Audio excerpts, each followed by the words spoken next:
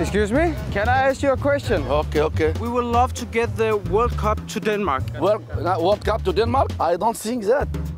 Jamaica? Jamaica? Jamaica? No, to Denmark. Denmark, uh, yes, I'd like you guys to have it. But it do you think it will be a little bit problem, you know, because we have democracy and stuff like that in it Denmark? can't be yeah. worse democracy than here. Mm, democracy?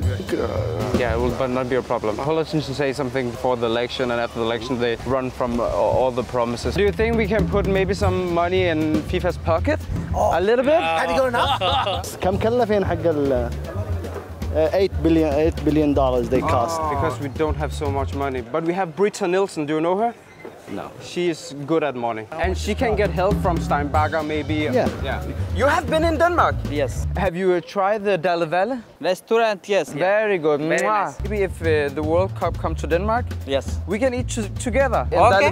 Dalle Valle. Okay. Yeah, and I pay, yeah. You owner of Delle Valle or uh, a sponsor? No, I'm not a sponsor. I would love Dalle Valle. Yeah. Okay, I love also Delle Valle. Yeah. Best of luck Denmark and best of luck Denmark player all. You're from Mexico. Mexico, Yes. okay, because we would like to get the World Cup to Denmark next time. No, because the next time it's in Mexico. Oh, for fun! Can I pay you for, for you know, getting the World Cup to Denmark before you?